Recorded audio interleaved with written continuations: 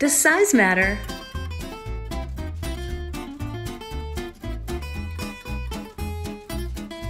When it comes to wall decor, it does. Art should be one half to two thirds the size of your sofa.